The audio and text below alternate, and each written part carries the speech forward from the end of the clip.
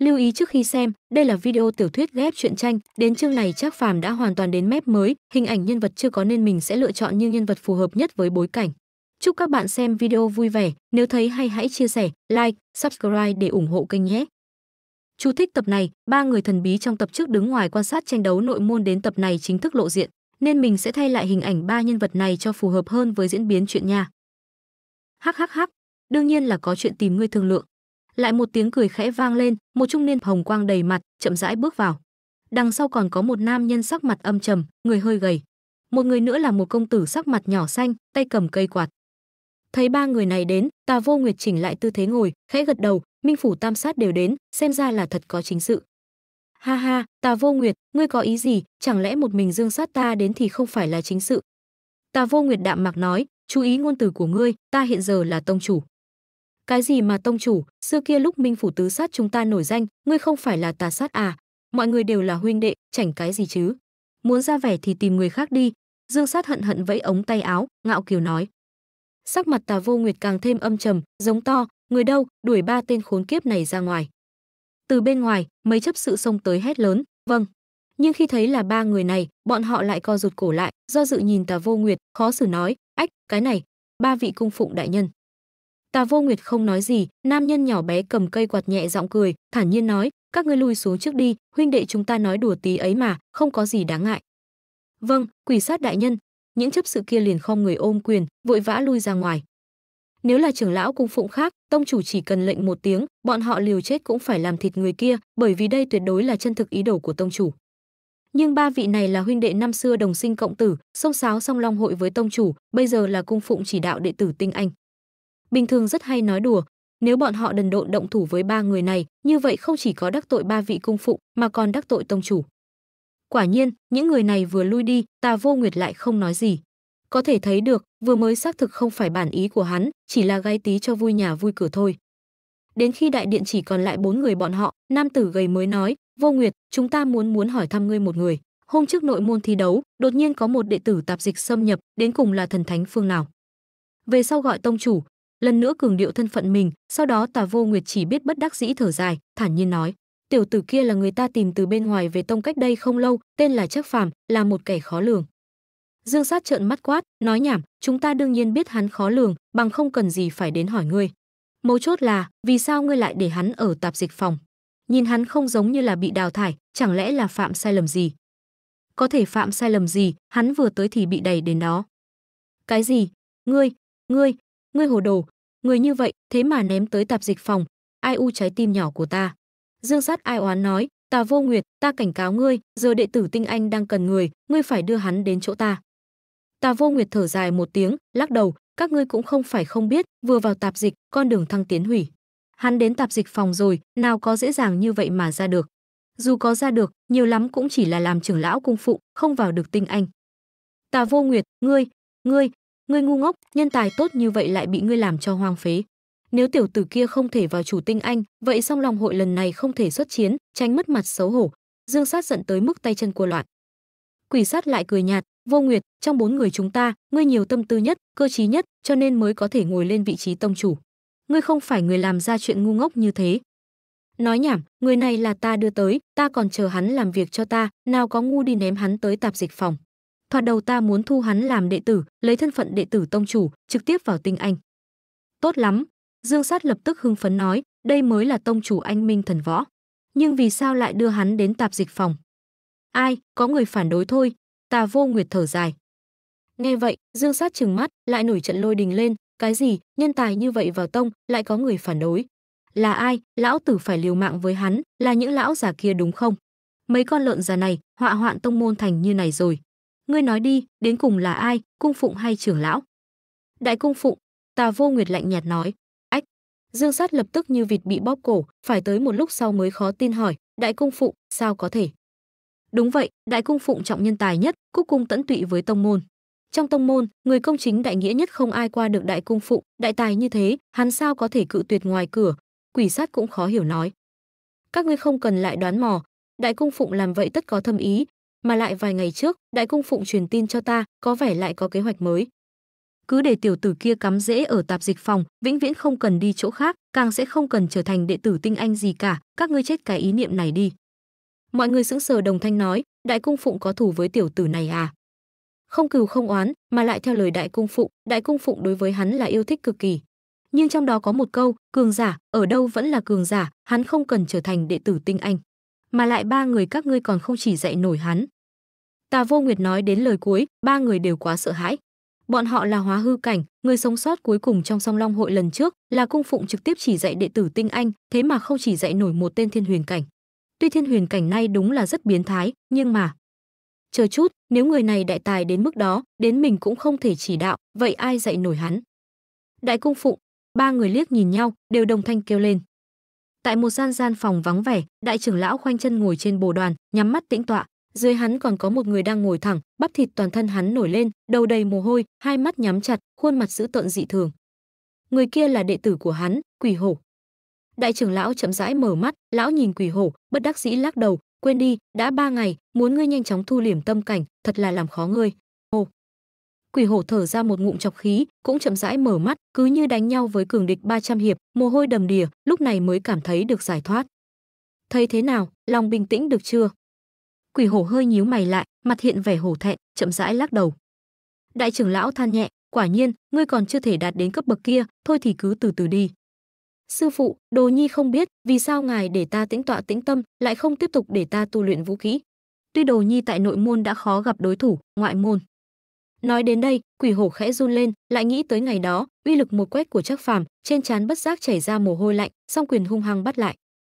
Minh Bạch suy nghĩ trong lòng hắn, đại trưởng lão chỉ đạm mạc nói, quỷ hổ ngươi kém người kia rất xa hắn không phải là người mà ngươi có thể đối phó được tối thiểu về mặt tâm cảnh hai người các ngươi chênh lệch nhau như ngày đêm không thể sánh nổi tâm cảnh quỷ hổ vô cùng nghi hoặc không sai chính là tâm cảnh quỷ hổ ngươi tư chất không tệ minh sát quyết còn đã luyện tới đỉnh phong nội môn không người có thể địch nhưng những ngày này vi sư dò xét tâm cảnh ngươi lại phát hiện căn cơ quá kém lúc trước vi sư không quá để ý phải đến tận ngày diễn võ đài đó sau khi ngươi với tiểu tử kia giao thủ một chiều, ta mới phát hiện các ngươi chênh lệch quả thực cách nhau một trời một vực.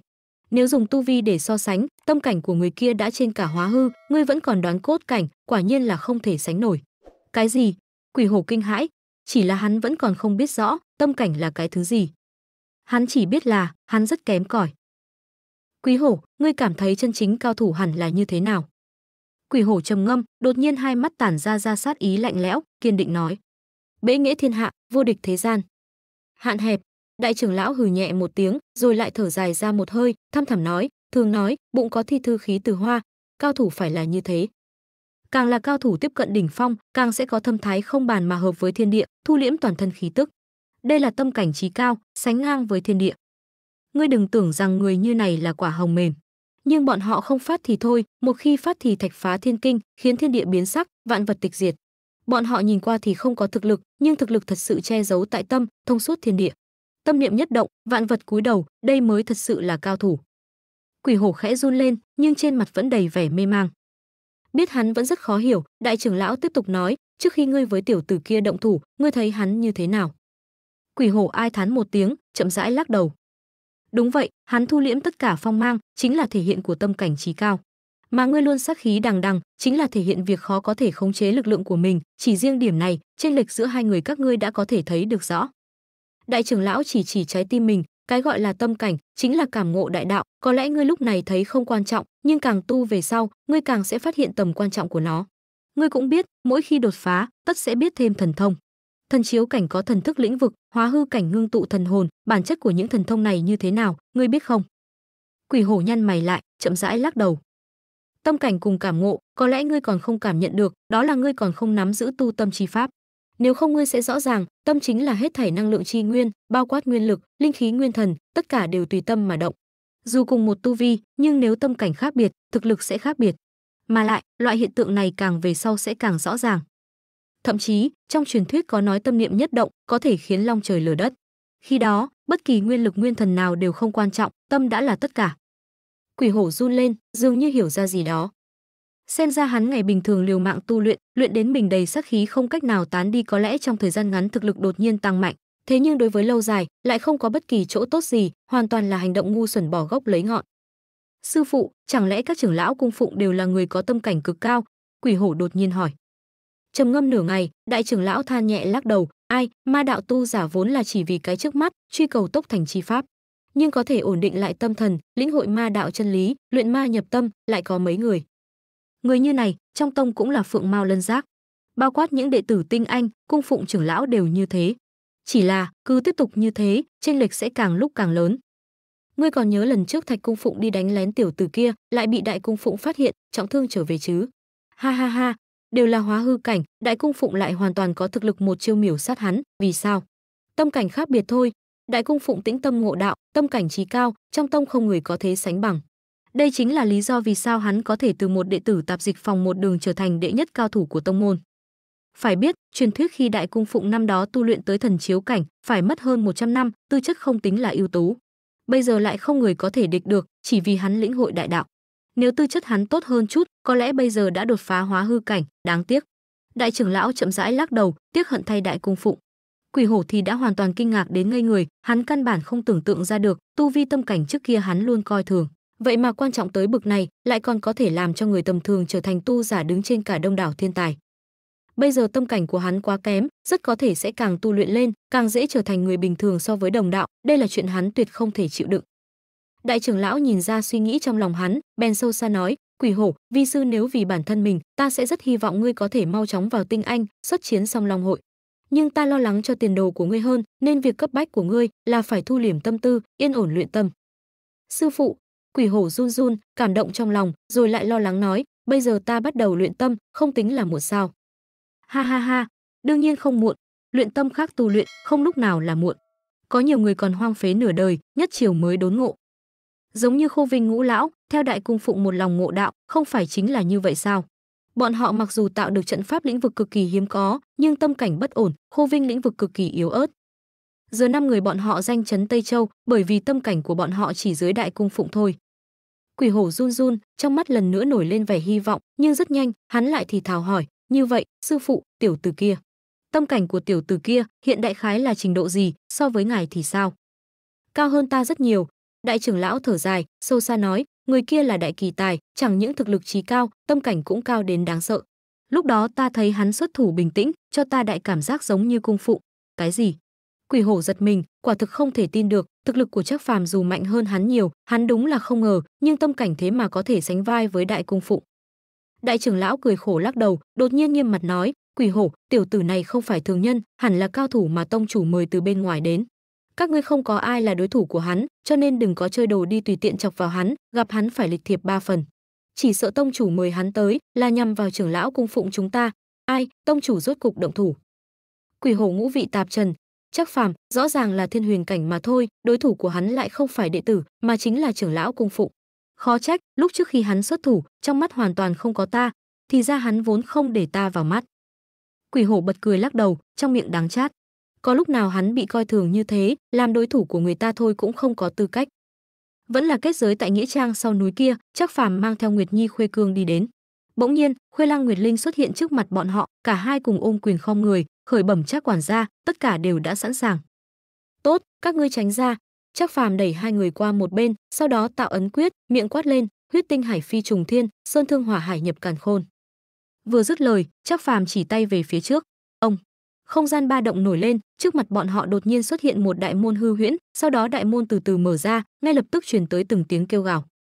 Khuê Cương giật mình, cẩn thận từng ly từng tí nói, sư phụ, ta phải vào sao? Nói nhảm, cha ngươi với Nguyệt Linh lần trước chuyển đến những thi thể này, lão tử mới bày ra linh trận cấp 7 cho ngươi huyết sát trận chuyên môn giúp ngươi tu luyện huyết sát quyết nếu ngươi không vào chẳng phải đã phụ lòng chúng ta chắc phàm rất đương nhiên nói khuê cương run lên, cảm thấy cuống họng hơi khô chát, nghe đầy tiếng kêu gào cuồn cuộn lệ khí truyền tới, tâm thần bất định không thôi, sư phụ, có thể nguy hiểm hay không?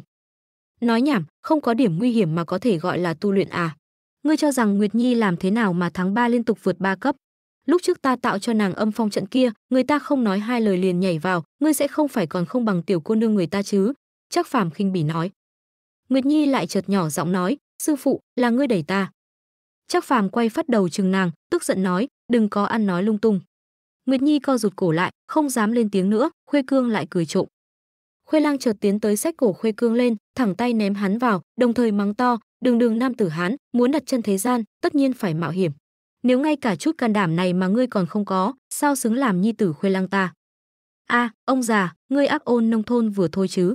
Từ trong huyết sát trận truyền ra tiếng hét đầy bi thiết, tiếp theo chính là tiếng chu tê tâm phế liệt khuê lang nghe thế, vẫn khá lo lắng nhìn sang Trác phàm. Trác phàm thờ ơ nhún nhún vai, thản nhiên nói, đừng nhìn ta, là các ngươi cứ nhất định phải bái sư, ta dạy đồ đệ chính là như vậy. Trận pháp này, ta lựa theo cực hạn thực lực hắn mà bài bố, nếu hắn có thể nhanh chóng đột phá thì sống, nếu không thì chết. A, chết thật luôn. Khuê lang giật mình, cả kinh trợn mắt hốc mồm. Trác phàm cười tà gật gật đầu, đúng vậy, giờ hối hận sao, muộn rồi. Lão tử dạy đồ đệ luôn luôn như thế, không thành công thì thành nhân khuê lang lo lắng quá đỗi. Hắn ngay từ đầu coi là chỉ chịu chút khổ, không ngờ còn thật nguy hiểm đến tính mạng, chắc phàm làm việc thật tuyệt tình. Chắc phàm lại bắt đầu kết động thủ quyết, sau một khắc, một trận môn khác xuất hiện. Chắc phàm tay mắt lanh lẹ bắt lấy nguyệt nhi, lại không chút do dự ném thẳng vào. Nguyệt linh giật mình, còn chưa kịp phản ứng, trong sương mù đã truyền ra tiếng kêu gào thống khổ của nguyệt nhi. Chắc quản gia, nguyệt linh vội vàng nói. Chắc phàm lạnh lùng nói, đây là huyễn trận, là chỗ luyện tâm trước kia ta chỉ là tùy tiện điều giáo có thể cho bọn họ học cấp tốc. Nhưng đã làm đồ đệ của ta ta không thể không suy nghĩ con đường sau này cho bọn họ.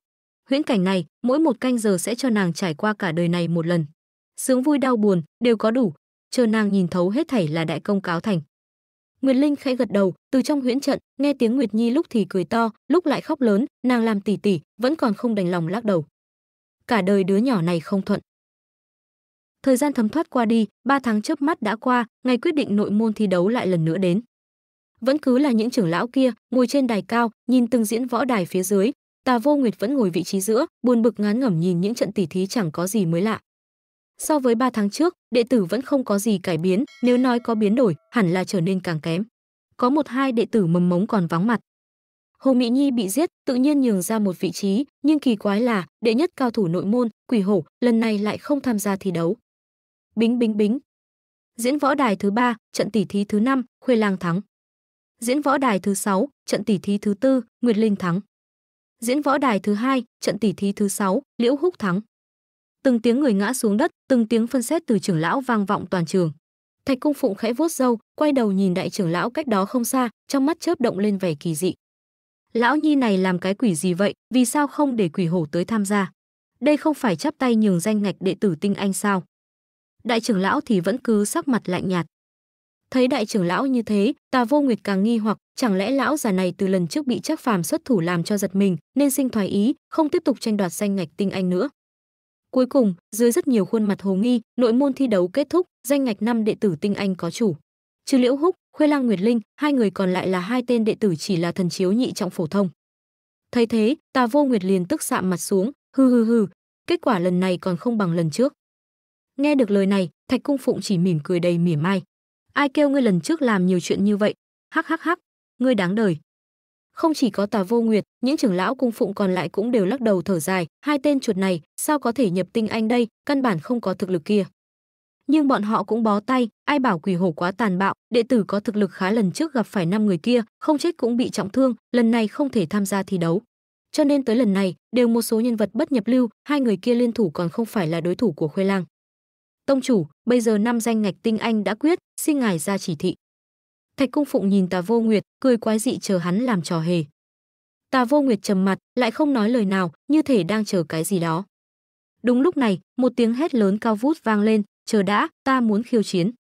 Một thanh niên cao lớn uy mãnh đến bay lên đài cao, hướng người về phía Tà Vô Nguyệt, ôm quyền nói: "Tông chủ, đệ tử ngoại môn, Khuê Cương, thỉnh cầu khiêu chiến cao thủ nội môn." Tà Vô Nguyệt sáng mắt lên, quan sát hắn, sau đó hài lòng gật đầu, tinh thần lập tức được chấn hưng, ha ha ha, nội môn thi đấu có mỗi lúc này là thú vị nhất. Thạch cung phụng cứng đờ mặt liếc xéo tà vô nguyệt tức đến thở hổn hển tông chủ ngươi lại dùng chiêu này. Đúng vậy ngươi dám tiếp sao? Tà vô nguyệt khiêu khích nhìn thạch cung phụng cười nhạt lấy thấp đánh cao can đảm lắm nhưng khuê cương à một khi ngươi chiến lên sinh tử vô luận. Khởi bẩm tông chủ đệ tử dám khiêu chiến thì đã sớm không để ý sinh tử. Khuê cương tự tin nói khuê lang đứng từ xa thấy thế thì hài lòng gật đầu không chút lo lắng bởi vì nhi tử hắn đã đột phá thần chiếu cảnh. Lúc trước Nguyệt Nhi Thiên Huyền 9 tầng có thể đánh bại Hồ Mị Nhi thần chiếu tứ trọng, nhi tử hắn bây giờ chí ít sẽ không thua bất kỳ cao thủ nội môn nào. Còn tranh lệch thực lực, chắc quản gia tự sẽ đền bù cho hắn, Khuê Lang tin tưởng không nghi ngờ. Tà Vô Nguyệt âm thầm tán thưởng, chắc phàm quả nhiên là hảo thủ, trong vòng 3 tháng không ngờ lại có thể tạo ra một cao thủ, bèn cất cao giọng nói: "Khuê Cương, ngươi muốn khiêu chiến người nào?" "Ta muốn khiêu chiến Liễu Húc sư huynh." Khuê Cương trịnh trọng ôm quyền, đồng thời dương mắt hung hăng nhìn Liễu Húc. Liễu Húc cười khẩy, chậm chậm tiến lên, khinh thường nói, vừa mới đột phá thần chiếu cảnh đã dám phát ngôn bừa bãi. Hừ hừ, ngươi cho rằng ta là Hồ Mị Nhi sao? Thực lực cách nhau ngũ trọng, không phải dễ dàng như vậy là có thể siêu việt, mà lại, ta cũng đã có chuẩn bị. Dứt lời, trong tay Liễu Húc lóe lên ánh sáng, một cái bút lông đỏ thắm xuất hiện. Đồng thời, song ánh sáng trên thân hắn liễm diễm, một lưu vân linh giáp bao bọc cả người hắn. Tất cả trưởng lão cung phụng giật nảy cả mình. Bát phẩm ma bảo, diễm binh xuyên thiên bút, thất phẩm ma bảo, lưu quang phi vân giáp. Tà Vô Nguyệt thì thào, sau đó lạnh lùng nhìn Thạch cung phụ, hừ nhẹ nói, "Thạch cung phụ, lần này ngài thật là dốc hết vốn liếng, hai ma bảo âu yếm đều mang ra." Thạch cung phụng cười đắc ý, tông chủ quá khen, ai bảo bây giờ nội môn tỷ thí đều không phải chân tài thực học, toàn là bắt đầu liều tài lực, khoe của. Lão phu mặc dù gia tư không phong phú, nhưng cũng không thể để đồ đệ thua thiệt quá nhiều. Tà Vô Nguyệt khẽ híp mắt, không nói gì, chỉ quay đầu nhìn Khuê Cương, trong mắt nổi lên vẻ ngưng trọng. Trên thân Liễu Húc có hai cao giai ma bảo, thực lực nhất thời bay vọt lên không ít, nếu Khuê Cương vẫn như Nguyệt Nhi lần trước, xuất ra ba ma bảo cao giai, vẫn không chiếm được lợi thế gì. Tỷ lệ chiến thắng trận này quá nhỏ bé. Khuê Lang cũng nhăn mày lại, lòng đầy lo lắng. Hắn cũng không ngờ, lần này Thạch Cung Phụng xuất huyết như thế, không biết chắc phàm tính toán thế nào, lúc này còn có thể thuận lợi khiêu chiến hay không. Khuê Cương thấy thế lại không chút sợ hãi, sắc mặt chỉ trở nên nghiêm túc. Bát phẩm hộ thân ma bảo cùng công kích ma bảo tốt, xem ra ta phải toàn lực ứng phó. Dứt lời, trong tay Khuê Cương cũng lóe lên ánh sáng, xuất hiện một bình sứ nhỏ, mở nắp bình ra, một mùi máu tanh nồng đậm liền truyền ra tứ phương. Không ít cung phụng trưởng lão đã ngửi ra mùi vị, cả kinh nói, cửu phẩm linh đan, huyết lệ đan. Không sai, ta luyện huyết sát quyết, huyết lệ đan này có thể tăng cường lưu động huyết mạch trong cơ thể ta lên mấy chục lần. Đừng thấy ta chỉ là thần chiếu nhất trọng, nhưng sau khi dùng viên đan này, thực lực của ta sẽ có thể đạt đến thần chiếu tam trọng cảnh. Khuê Cương nói xong liền ngửa cổ lên, nuốt đan dược vào miệng. Ngay lập tức, từng đạo từng đạo huyết khí màu đỏ vờn quanh người hắn, khí thế của hắn đồng thời từng bước tăng cường. Cỗ nồng đậm sát ý mang theo mùi máu tanh, người ta chỉ ngửi thấy đã có cảm giác muốn nôn mửa. Liễu Húc quá sợ hãi, nổi giận nói, "Tiểu tử thúi, ngươi không muốn sống à? Tăng cường tốc độ huyết mạch lưu động lên mấy chục lần, ngươi sẽ tự bạo mà chết." Hừ hừ hừ, đa tạ sư huynh quan tâm, loại chuyện này có lẽ trước kia sẽ xảy ra, nhưng bây giờ sẽ không. Dù nói thế nào, ta đã từng dùng thập phẩm linh đan, thông thiên đan, huyết mạch rất bền bỉ. Khuê Cương thản nhiên cười nói, tuy toàn thân không ngừng run rẩy, lại cắn răng gắng gượng, đúng là không có dấu hiệu bạo thể. Thấy vậy, các vị trưởng lão cung phụng càng giật nảy cả mình, sau đó lại đầy vẻ mặt hâm mộ nhìn hắn. Thông thiên đan, thập phẩm linh đan, bọn họ sống lâu vậy còn chưa được ăn một lần, tiểu tử này có tài đức gì mà được hưởng phúc như thế. Liễu Húc cũng hơi kinh ngạc, như vậy, thực lực hai người đã được thu nhỏ đến nhị trọng cảnh mà thôi mà cũng không sao, bởi mình có cao giai ma bảo, dù đối phương xuất ra ma bảo gì thì chênh lệch hai trọng cảnh vẫn không dễ rút ngắn. Bất chợt, ông một tiếng, toàn thân Khuê Cương đột nhiên tỏa ra quang huy lóa mắt, làm tất cả mọi người chói mắt không mở nổi. Chờ quang mang tán đi, mọi người lập tức rung động đùng đùng. Toàn thân Khuê Cương lại xuất hiện bốn ma bảo, đều cửu giai, mà lại mỗi ma bảo đều như sinh ra vì hắn, hiện ra huyết sắc đỏ thẫm. Cửu phẩm ma bảo, huyết ảnh phiên vân lý.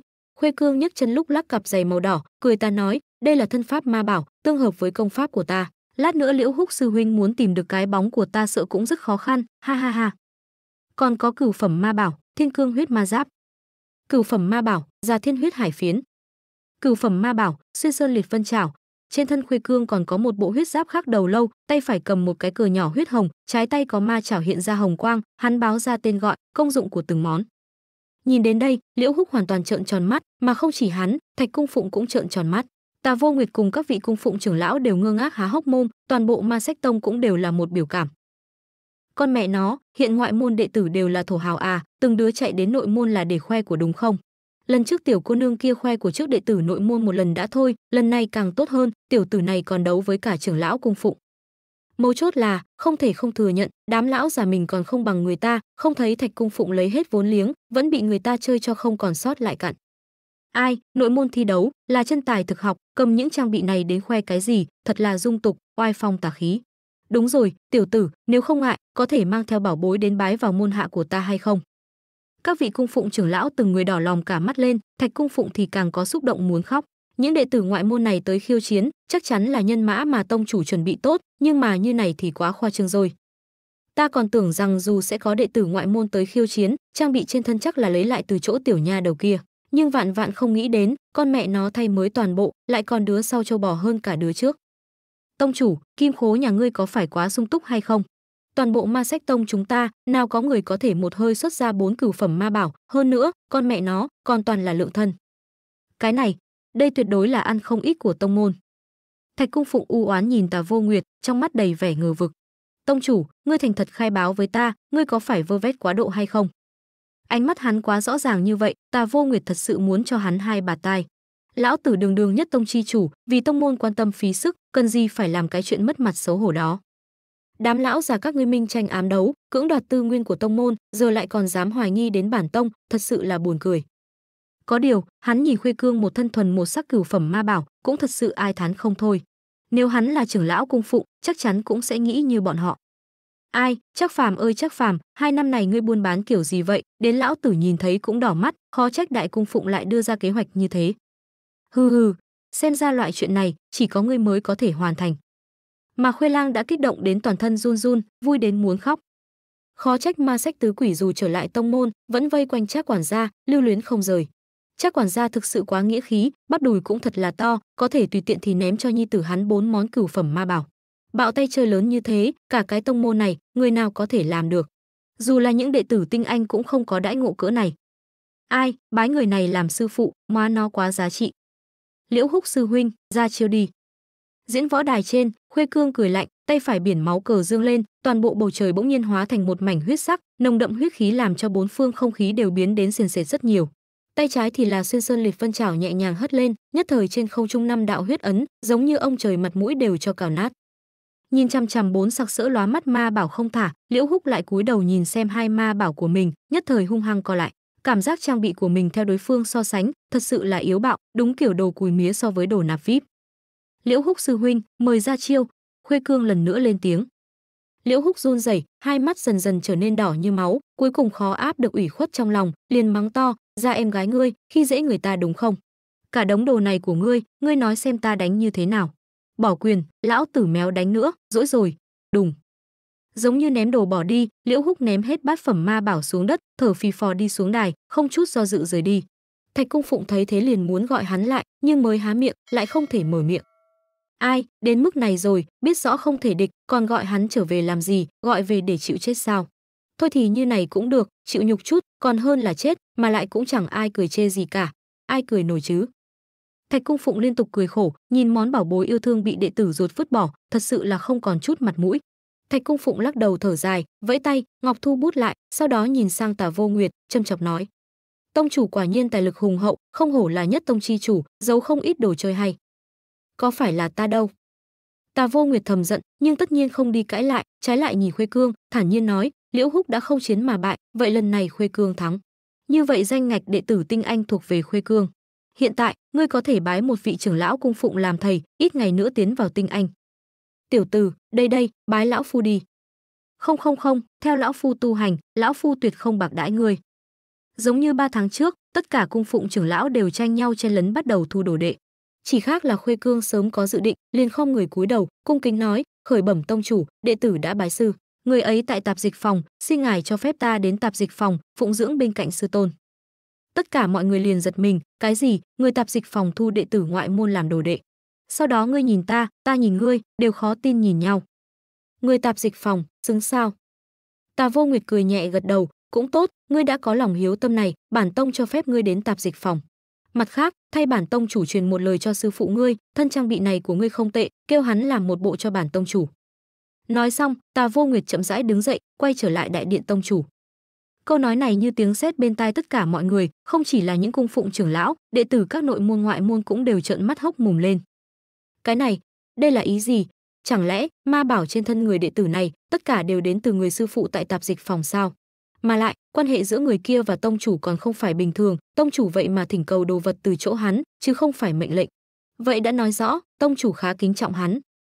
Một nơi tầng dưới chót nhất như tạp dịch phòng, đến cùng cất giấu thần thánh phương nào, vì sao trưởng lão cung phụng chúng ta không hề hay biết. Thạch cung phụng đầy khủng hoảng suy nghĩ, đại trưởng lão thì vẫn rất bình tĩnh, một bộ quả là thế. hai vị đệ tử ngoại môn khiêu chiến nội môn, sau khi khiêu chiến thành công thì đều lựa chọn đến tạp dịch phòng, nơi này mà không có mờ ám mới là gặp quỷ.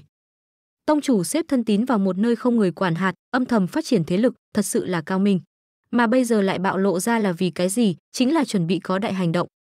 Thạch Cung Phụng sau một lát trầm tư, đột nhiên nói, "Tông chủ, danh ngạch đệ tử tinh anh phải chăng nên xác định?" Năm lần bảy lượt bị đệ tử ngoại môn khiêu chiến thành công, những đệ tử này còn có tư cách gì làm tinh anh? Tà Vô Nguyệt châm chọc nói. Thạch Cung Phụng nhíu mày, thử dò xét, như vậy nội môn thi đấu này còn phải tiếp tục sao? Tiếp tục hả? Tà Vô Nguyệt trầm ngâm một lát, bèn nói, dù mấy tháng sau tổ chức một lần nữa, thực lực những đệ tử này còn thật có thể đột nhiên tăng mạnh sao? Ta thấy, nội môn đã không thích hợp bồi dưỡng tinh anh rồi. Thạch Cung Phụng lơ đãng nắm chặt lấy tròm dâu cả kinh trợn to mắt. Tà Vô Nguyệt nói lời ấy là có ý gì? Nội môn không thích hợp bồi dưỡng tinh anh, chẳng lẽ ngoại môn thích hợp sao? Tà Vô Nguyệt lúc này đã biến mất, chỉ có một đám lão già nghĩ ngợi suy tư đến to cả đầu, không biết chân ý của tông chủ. Nghĩa trang sau núi, chắc phàm trợn mắt quát, cái gì? Tà Vô Nguyệt nói vậy. Khuê Cương gật đầu, vâng, sư phụ, tông chủ đã nói như vậy. Khuê Cương lại cẩn thận từng ly từng tí hỏi dò, sư phụ, ngài với tông chủ quan hệ thế nào vậy? Làm sao hai người giống như rất quen biết nhau? Biết thì biết, nhưng không nên công khai. Chắc phàm khẽ trao mày, ngay sau đó thì run lên, thì thào, chỉ cần một hai lần như này, hắn sẽ có cớ chỉnh đốn nội môn. Lần này hắn lại công khai ta, chính là đẩy ta đến nơi đầu sóng ngọn gió, hắn có ý gì vậy? Chính là ý này. Chắc phàm vừa dứt lời, một thanh âm quen thuộc vang vọng bên tai hai người. Chắc phàm, trước kia ngươi đã tạo ra một lạc gia, bây giờ bản tông chủ yêu cầu ngươi, tại tạp dịch phòng, lại làm thêm một lạc gia mới cho ta.